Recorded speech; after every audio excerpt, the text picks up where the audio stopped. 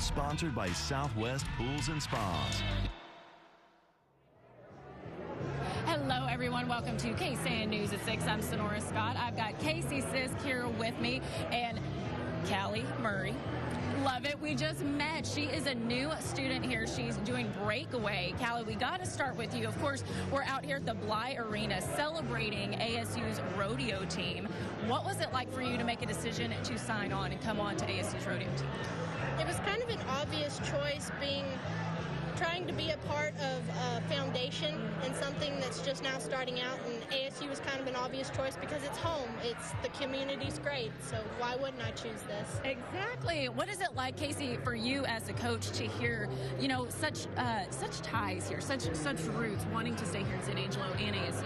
Well, I mean, you know, San Angelo has rodeo roots regardless. So, yeah. I mean, uh, for the local kids to want to stay around here and continue that, that's pretty awesome. And, and, it says a lot for our program too. Even though, even though we're still fresh off of you know starting it, I think that it's it's a good deal that they still want to stay around. Most definitely. Yeah, let's talk a little bit about that. You know, because it is so new. What is it like to start a program like this from the ground up? Uh, it's, it's, a lot of it's a lot of blood, sweat, and tears, but we're yeah. ju- we're just blessed to be here, and and you know it's uh, not everybody gets to start a, a rodeo team from the ground up, so uh, it's been a lot of fun. Uh, I've learned a lot still every day, and all the you know the kids. You know we've all got a pretty tight relationship, so that's that's I mean that's what it's all about. In the end of the day is yeah. relationships and uh, education. Oh I love that, love that. So speaking of education, you know, of course, you got to keep up with your studies and everything. So um, can you talk a little bit about, you know, what it's like to balance all of that? Is it is it nothing new for you? Um, it's kind of new for me on, but it's on a different level.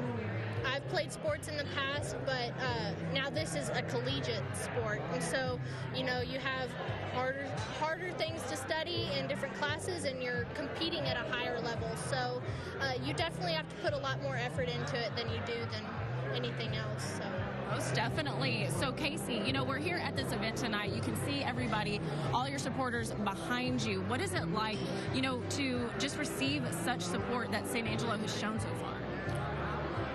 We weren't we won't be we wouldn't be where we are today without the support yeah. in the community in ASU. I mean, uh, it's just it's phenomenal. Um, I mean, just the help and the support that we get daily. We get daily surprises of people just show up and say, "Hey, can we help you in any way?" And and you know, so that that takes a load off of me, and yeah. and, and it helps us you know, start this program the right way.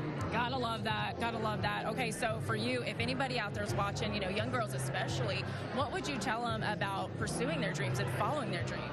You know, you're gonna get knocked down eight, and you got to get up nine times. So you got to keep doing what you love, and you got to follow your dreams because nobody's gonna. Your dream's not gonna chase you. You got to chase it. So and that's what I'm doing here. So I love that wonderful words of advice, guys. Thank you so much for being thank here with you. us today. of course, it. of course. Well, hey, folks, we will check back in with you at 10 o'clock. But right now, we're going to send it into the studio.